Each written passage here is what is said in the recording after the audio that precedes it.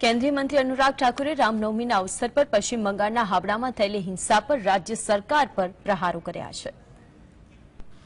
પશ્ચિમ બંગાળના હાવડામાં થયેલી હિંસા પર કેન્દ્રીય મંત્રી અનુરાગ ઠાકુરે રાજ્ય સરકાર પર પ્રહારો કર્યા છે.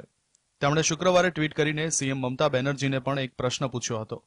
અનુરાગ ઠાકુરે ટ્વીટ કરી કહ્યું કે બંગાળ સળગી રહ્યું છે, રામ ભક્તો પર પથ્થરમારો થઈ રહ્યો છે. પત્રકારોને મારવામાં આવી રહ્યા છે.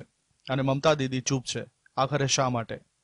પ્રેસની સ્વતંત્રતાની વાત કરનાર મમતા રાજે પત્રકારોને માર મારતા હોઠ કેમ ટાંકી લીધા છે આખરે શા માટે કોના ઈશારે બંગાળને અરાજકતાવાદીઓ અને તોફાનીઓને સોંપવામાં આવી રહ્યું છે बंगाल के चुनाव हो तो उसके बाद भी हजारों लोगों के ऊपर पथराव आगजनी बम फेंकना ये आम सी बात बन गई है और ममता जी के राज में जिस तरह से पत्रकारों पर हमले हुए शोभा यात्रा रामनामी की निकालते हुए उन पर पथराव हुआ है इससे ज्यादा शर्मनाक और क्या होगा कि अगर पत्रकारों को भी हिंसा का शिकार होना पड़ता है लहूलुहान होना पड़ता है और राज्य की सरकार मूक दर्शक बन के बै- बैठी रहती है રામનવમીની ઉજવણી દરમિયાન બે જૂથો વચ્ચે અથડામણ થઈ હતી અને અનેક વાહનોને આગ ચાંપી દેવામાં આવી હતી રામનવમીની શોભાયાત્રા વિસ્તારમાંથી પસાર થતા જ હિંસા ફાટી નીકળી હતી આગની લપેટમાં લપેટાયેલા અનેક વાહનો ઘટના સ્થળના દ્રશ્યોમાં દેખાતા હતા.